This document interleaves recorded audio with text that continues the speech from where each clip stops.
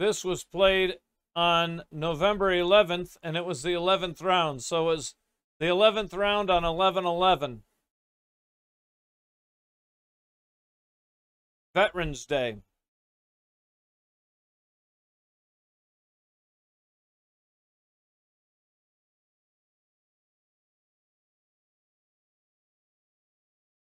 His opponent, Lajos Portisch.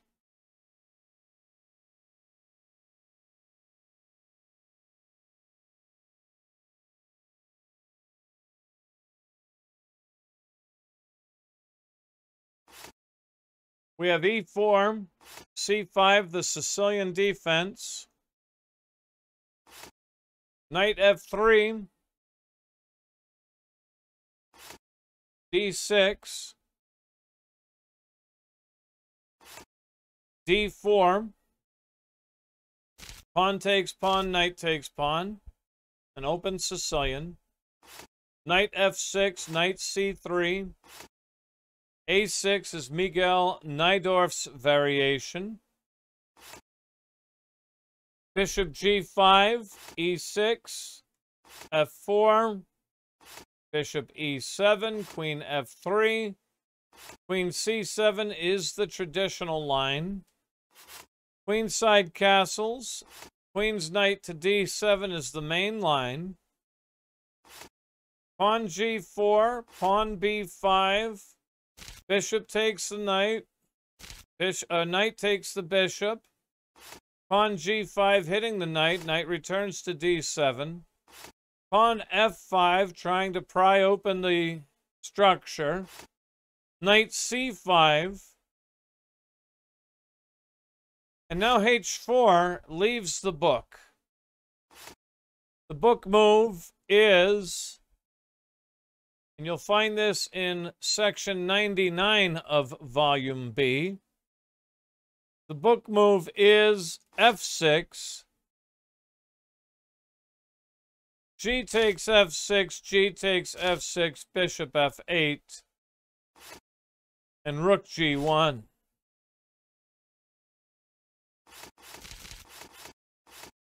Ljubojević goes with H4 instead. B4 hits the knight. Critical move. I thought um, an interesting move would be to sack the knight. Because if you take here, I'm taking here with check. King F8. I come over here. This pins my opponent's knight to his queen.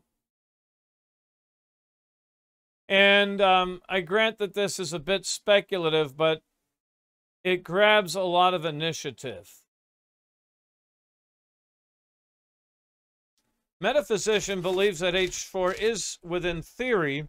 It's not in the ECO, but I'd imagine it is. Uh, it yeah, it's been played. Uh, um, throughout history 32 times is what my database is showing me.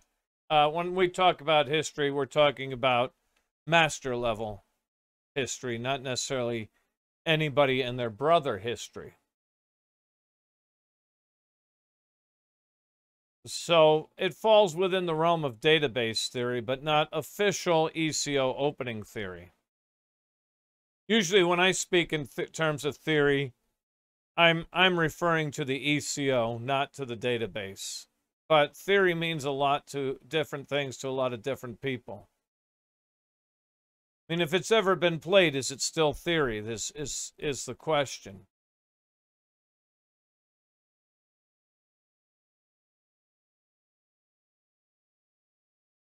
F takes E.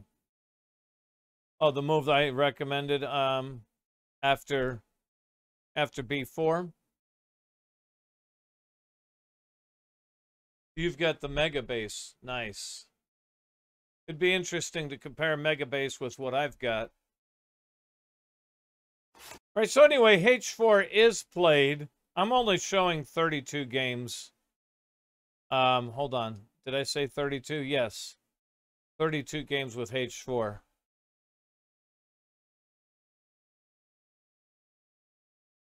I say only. That's still a lot of games to to reach a position after 14 moves. At, and, again, that's at the at the master level. You know, if you have a if you're if you're a ChessBase owner, well, first of all, lucky you. Uh, I've always wanted ChessBase, but I could never bring myself to spend the hundreds of dollars that it would take to get it. And plus, it's so complicated that at my age, I don't know, you know, that's a lot of, and when I was younger, I could learn things a lot better and more easily.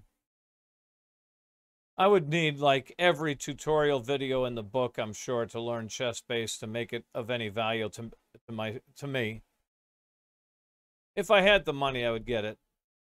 I mean, it comes highly recommended by um, Chess Dojo Live. Um, what's his name? Cassia, Castia, Cast. I, I forget.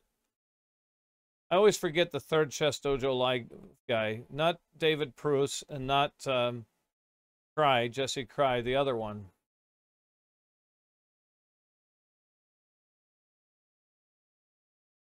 Anyway, H4, B4, Knight C, E2.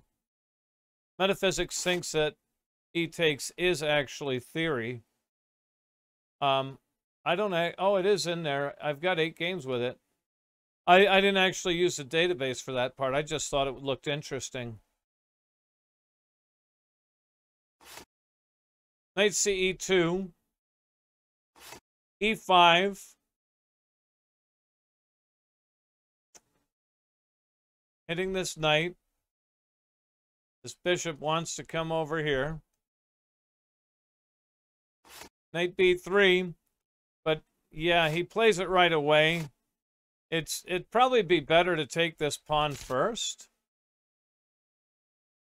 And the point is, if you take my knight, then I'm skewering your queen and your rook. Kostya. Kostya, that's it. Kostya.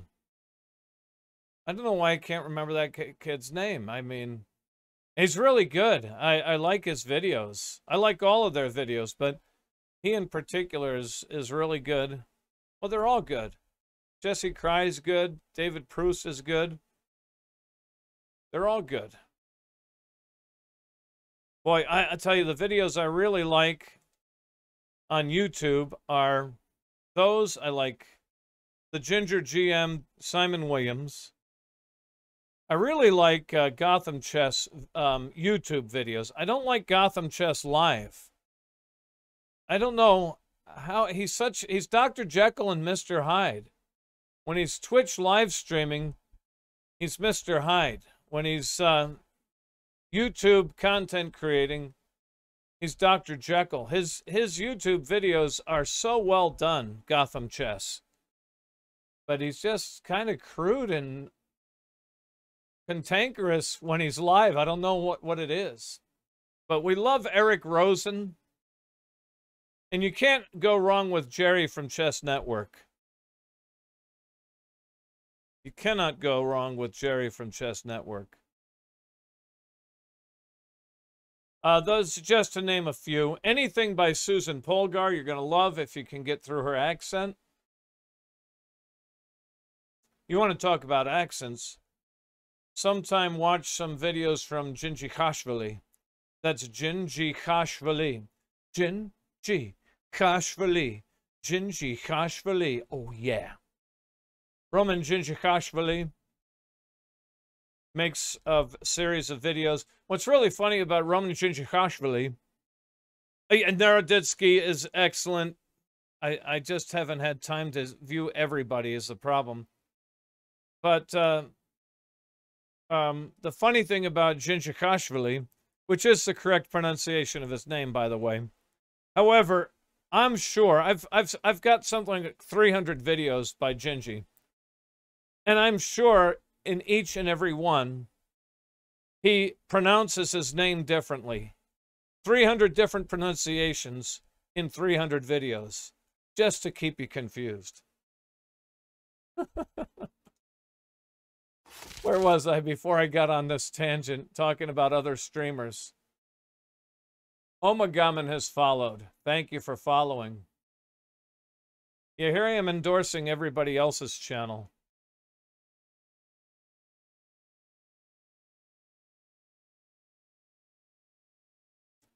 Now, there's a lot of good chess content out there. Let's just put it that way.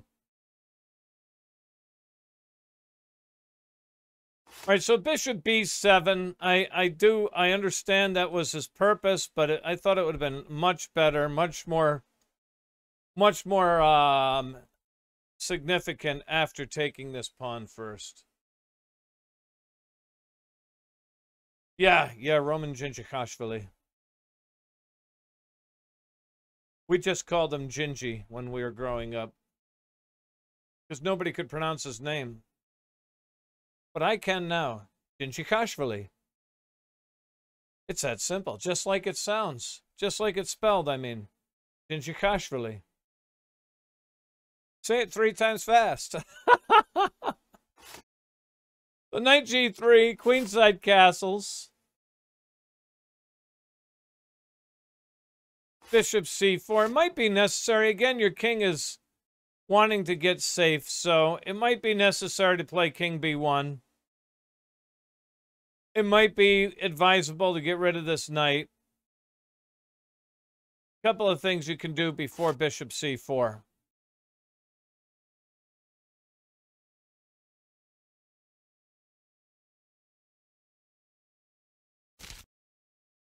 So knight takes e4 here. Bishop d5. Knight takes knight. Queen takes knight. King b8. King's rook to e1. Rook c8, threatening mate. This would be checkmate. So queen g2 defends. He'd like to get his rook up and over, if possible. Bishop takes the bishop. Rook takes the bishop. Queen b6. Critical move. Now rook e4. Boy, if he could safely get his rook here, that would be delicious. So perhaps a3 would be in order next.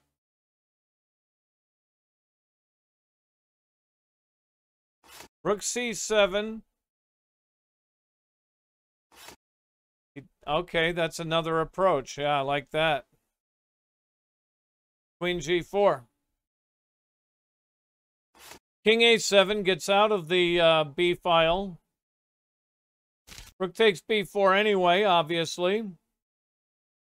Queen e3 check. Queen f2 is a little bit more um, confining here.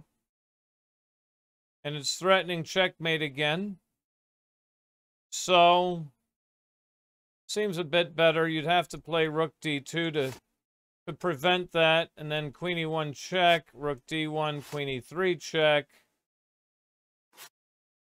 Yeah, you're you're looking um you're looking like you've equalized here.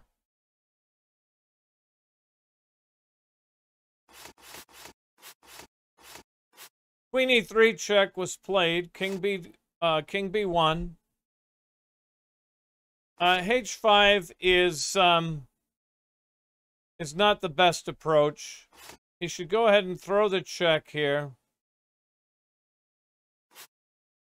And then after this, this. You'd have to go rook d2. And maybe you could just probably settle for the repetition here as well. I would think. Although white doesn't have to take a repetition per se. But anyway, Queen e1 is surely at least maintains equality. By the way, you uh, let's talk about Queen e1, Rook uh, d1. Let's talk about whether or not this would be advisable. Does anybody see the problem with Queen takes this? Anybody? Anybody? Anybody? Anybody? Why is that a problem? Anybody? Isn't that free? No, it's not free ladles and jelly spoons. Don't miss those crossfires. The reason I point this out is it's a very common mistake at uh, the amateur level among beginners, overlooking these pieces far, far away.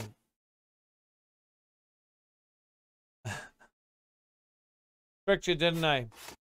So H5, um, Queen D1,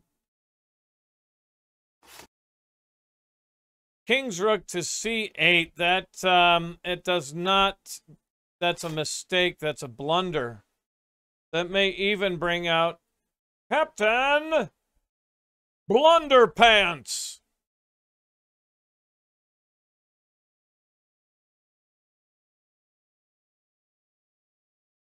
So rook b8 is the move to provide the best fighting chances.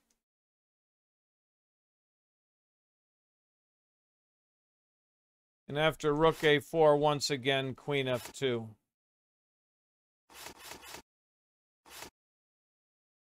Yeah, exactly, metaphysician.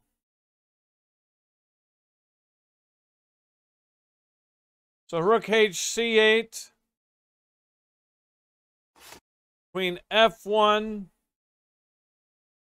And um,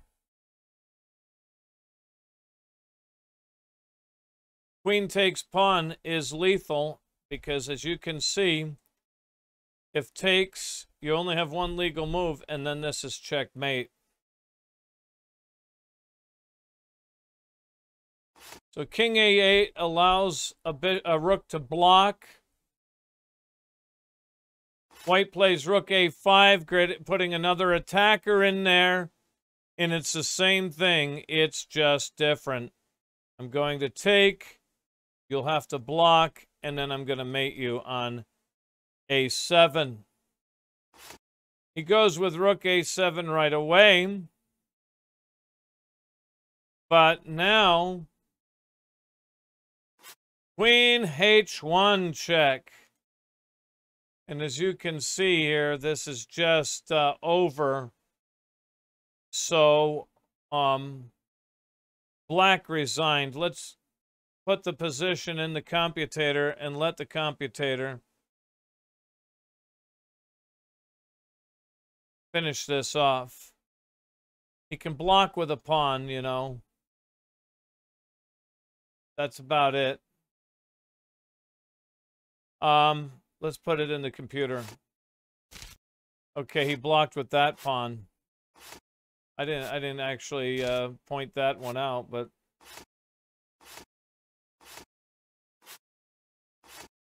that's why I'm not the computer. But it's just has to clean up here. He's up a whole piece. Trade the rooks. I see here I would have just traded rooks. Make it simple. This is a, a lesson for those of you who are amateurs and beginners. When you have a material advantage and you can force a rook trade like that, just do it. It'll be easier. Don't give him any counterplay at all. Don't give him any chance to leave any weapon on the board. Now, if you play perfectly, it won't matter. But what happens if you don't play perfectly? You're better off just getting rid of his weapons altogether. We'll go back to that position here in a moment after the checkmate is right here. Let's just go back to that so you can see it.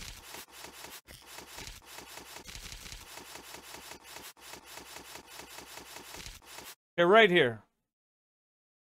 Just force the rook trade force the rook trade. You're up two pawns. It it it may not be the the uh, objectively best, but it's the simplest.